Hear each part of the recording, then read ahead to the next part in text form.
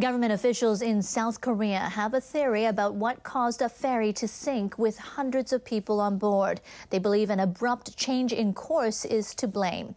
At least 25 people have died and more than 271 are missing. The Sewol capsized on Wednesday, sailing in the waters off the southern coast. It was carrying 475 passengers and crew, including more than 300 high school students. Rescuers saved 179 nine people.